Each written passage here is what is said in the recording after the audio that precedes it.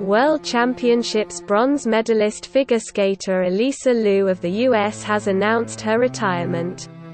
Aged 16. I started skating when I was 5 so that's about 11 years on the ice and it's been an insane 11 years, she wrote on Instagram. I feel so satisfied with how my skating career has gone, the two-time US national champion added. Subscribe to the channel for more news.